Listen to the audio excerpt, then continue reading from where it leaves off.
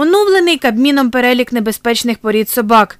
Тут є аргентинський дог, доберман, ротвейлер, амстаф. Загалом у списку понад 50 порід.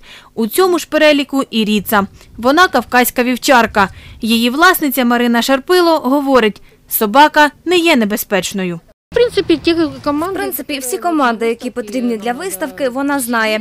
Сидіти, охороняти, чекати. В неї спокійний характер, і вона без дозволу нічого не зробить.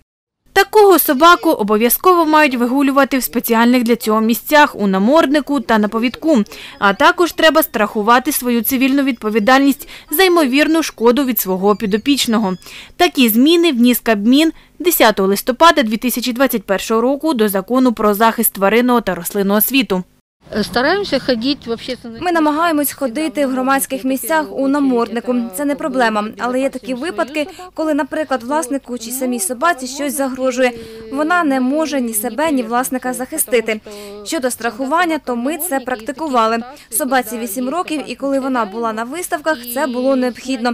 Зараз ми страхування не робимо. Навчити собаку носити намордник – перший обов'язок власника тварини, говорить кінолог Олександр Воєводін. Потенціально можна считати. Потенційно можна вважати будь-яку породу собак небезпечною. Навіть малий чихуахуа може проявити агресію.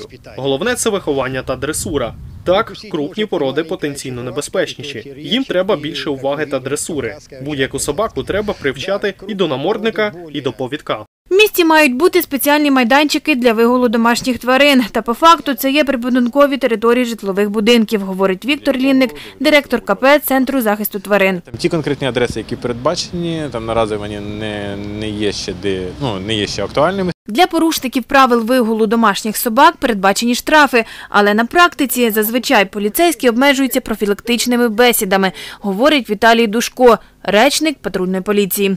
Тварин у власників вилучають тільки в разі жорстокого поводження з ними. Згідно 154 статті, значить, патрульні е, за цією статтю, е, статтею, е, якщо або тварина без намордника, або чи, чи без повідка, якщо це собака небезпечної породи, або якщо є такий пункт, коли власник собаки, вигулюючи її на, е, не на спеціально відведеній для цього площадці, е, він не прибирає з неї екскременти. Тобто за це теж передбачена відповідальність.